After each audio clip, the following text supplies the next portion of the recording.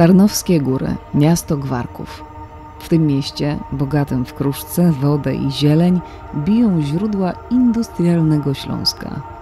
W zabytkowej kopalni srebra w Tarnowskich Górach, wpisanej na listę Światowego Dziedzictwa UNESCO, rozpoczyna się szlak srebra i wody.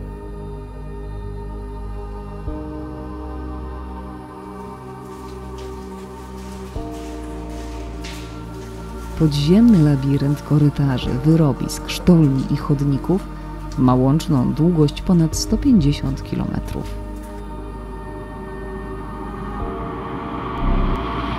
To pozostałości po dawnej królewskiej kopalni Fryderyk.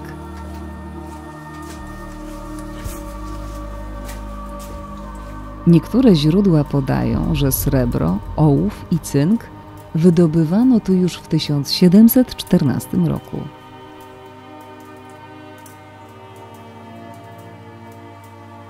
Triasowe dolomity i wapienie obfitowały w srebronośne kruszce. Z tarnogórskiego srebra produkowano monety w dalekich Chinach, a cynk pokrywał w XIX wieku połowę światowego zapotrzebowania na ten surowiec.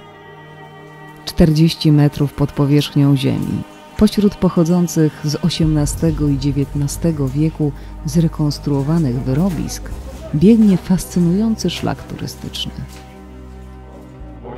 jest ustanowiona opiekunką, nam, gwarkom. Wzywamy Cię, patronko i święta powierniczko, bądźże Ty braciom gwarkom szczęścia wszego strażniczką. Licząca 1740 metrów trasa prowadzi przez wykute w skale przodki górnicze i chodniki transportowe.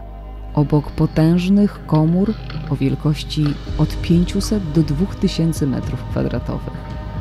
Zwiedzaniu towarzyszą autentyczne odgłosy ciężkiej pracy gwarków.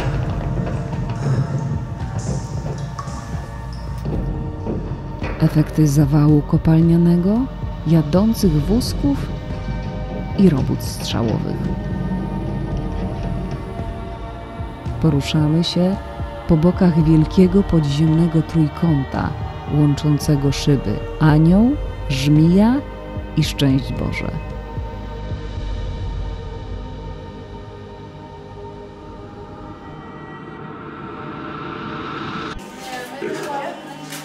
Boże. Szczęść Boże.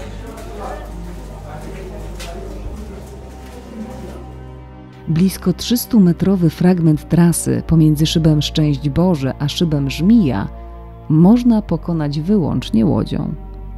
To oczywiście jedna z najbardziej popularnych atrakcji dla zwiedzających. To podziemne miasto Gwarków.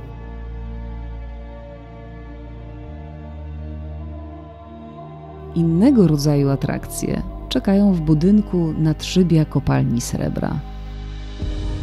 Multimedialna wystawa przystępnie i widowiskowo prezentuje ciekawostki z tarnogórskich podziemi. W tym pierwszą maszynę parową na Górnym Śląsku. Bogata kolekcja takich maszyn znajduje się na zewnątrz – przy kopalnianym skansenie maszyn parowych.